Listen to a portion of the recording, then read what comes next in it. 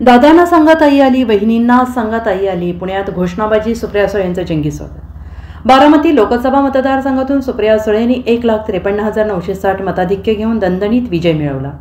त्यामुळे बारामती लोकसभा मतदारात मोठ्या साहेबांचा आजही दबदबा असल्याचं दिसून आलं. त्यामुळे खासदार सुप्रिया सुळे यांचं आता गावोगावी जल्लोषात स्वागत होतंय.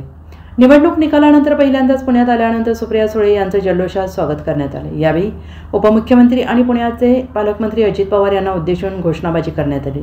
दादांना सांगा ताई आली असं म्हणत पुण्यातील सुप्रिया सुळे समर्थकांनी मोठा जल्लोष केला.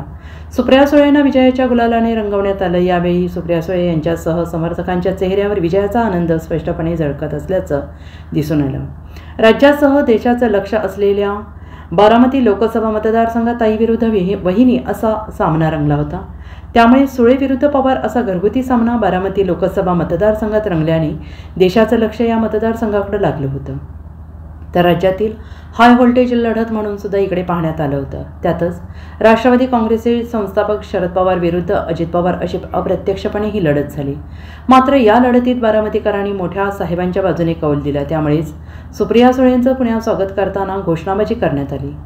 दादांना सांगा ताई आली वहिनींना सांगा ताई आली अशी घोषणाबाजी ताई समर्थकांनी केली. दरम्यान सुप्रिया सुळे यांना बारामतीमध्ये एक लाख त्रेपन्न हजार नऊशे साठ मताधिक्याने विजय मिळाला. खासदार बनल्यानंतर आज सुप्रिया सुळेंचं पुण्यात जल्लोष जल्लोषात स्वागत करण्यात आलं. सुप्रिया सुळेंवर जेसीबीच्या सहाय्यानं फुलांची उधळण आणि गुलाल उधळून आनंद साजरा करण्यात आला.